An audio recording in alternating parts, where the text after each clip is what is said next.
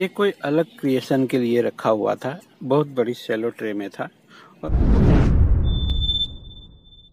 और ऊपर कोई फिगर रखी थी, उसके साथ उसको मैं अटैच करने वाला पर तूफ़ान आया, उसमें वो पूरा डह गया, ख़राब हो गया। फिर इस प्लांट को निकाला तो बहुत सारी रूट्स थी तो मैंने इस तरह कुछ न कुछ करके उसको यहाँ अलग तरीके से लगाने के लिए छोड़ दिया है। और पूरा प्लांट को मैंने कट बैक कर दिया है, दोस्तों। पूरा प्लांट निकाल दिया था।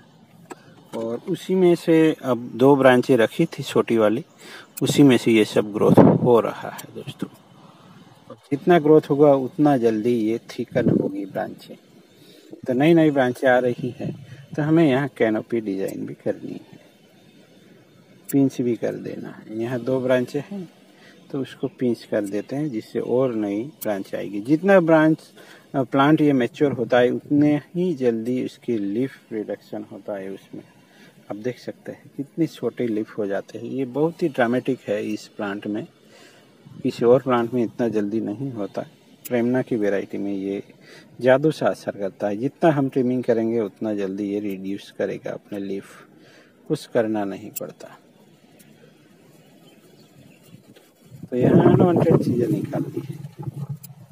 और इस पे हमेशा ध्यान रखना है दोस्तों। प्रेमना में ये बहुत ही बुरी तरीके से निकलते हैं ब्रांच। इसलिए। और हो सकता है इस ब्रांच को हमें थोड़ा मोटा भी करना पड़े, क्योंकि ये बेस से निकल रहा है तो थोड़ी मोटी होनी चाहिए उसकी साइज़। और इसकी वजह से यहाँ ज़्यादा वार बाइट हुआ है, देखिए।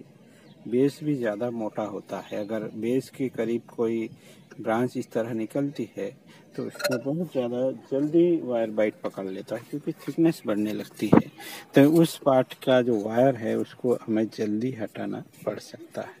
और एरिया कॉम्प्लिकेटेड है तो फिर इस तरह कट करके ही हमें निकालना होता है। और राख को नुकसान नहीं होने देना है, दोस्तों। तो मेरे ख्याल से ये जो तीन, दो ब्रांचें हैं, उसके कंपैरिजन में उसको थोड़ा सा मुझे लगता है कि मोटा करने का ज़रूरत है। तो इसलिए मैं इस ब्रांच को ऐसे ही छोड़ देता हूँ। तो ये एक्सपोज रूट के साथ है ये प्लांट रूट एक्सपोज किए हुए हैं। और कुछ और भी हो सकता है बट अभी के लिए तो मुझे इतना ही करना था, क्योंकि स्प्रिंग है तो फिर बैलेंस ज़रूरी है। प्लांट में बैलेंस ना हो तो फिर डिज़ाइन पूरा गड़बड़ा जाता है दोस्तों। तो यहाँ बहुत ही बढ़िया सी एक कैनोपी डेवलप करेंगे हम, और जितना हो सके इतना हमने बैंड करने की कोशिश की होगी। अब और ज़्यादा भी हम बैंड कर सकते हैं यहाँ। अब जितना चाहो उतना। दूसरी बार में ये स्टेबल हो जाता है तो हम एक बार फिर से मौका मिलता हमें कि हम उसको इस तरह और ज़्यादा मोड़ सके और कोई ड्रामेटिक कर्व ला सके। यहाँ मैं वायर लपेट लेता हूँ जिससे ये प्लेस हो जाए। इसलिए वायरिंग किया जाता है। और वायर कट किया है मैंने, जहाँ यूज़ नहीं था। यानी यहाँ वायर बाइट हुआ तो मैंने कट कर दिया। और इस वायर को मैंने रखा है दोस्तों, ये भी और इसी वायर की मदद से मैंने यहाँ कुछ बेंडिंग भी किया हुआ है। जहाँ वायर बाइट है तो और निकाल देता हूँ, जिससे ब्रांच को बिना नुकसान हो और हमें बेंडिंग मोमेंट भी मिल गया। तो ज़रूरी नहीं है कि हमने वायर को कहीं से यहाँ बेस पॉइंट से एंकर पॉइंट से निकाला, पर ये ऐसे ही बना हुआ है और उसका उपयोग करके या यूज़ करके हमने ब्रांच को भी इस तरह थोड़ा बेंड किया हुआ है। हो रहा है तो हमने कर दिया है।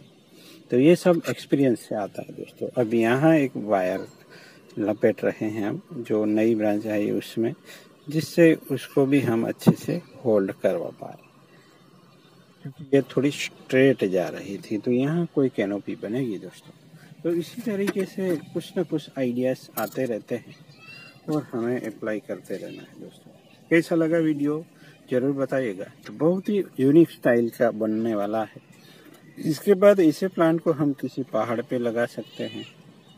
कुछ भी लैंडस्केप में भी यूज़ कर सकते हैं। कुछ भी हो सकता है। ये केवल बेसिक स्टाइल अचीव करने के लिए उसको रखा गया है। यानी ट्रेनिंग हो रही है। बाद में हम प्लांट को कहीं लैंडस्केप में किसी स्टोन पे कहीं भी लगा सकते हैं। उस रूट्स जो डाइबैक कर गई है तो चलिए मिलते हैं दोस्तों। ऐसे ही बने रहिएगा एंड सपोर्ट करते रहिएगा पेज को फॉलो कीजिएगा चैनल पे विज़िट करिएगा, बहुत सारे वीडियो अवेलेबल हैं। करीब दो हज़ार। तो मिलते हैं।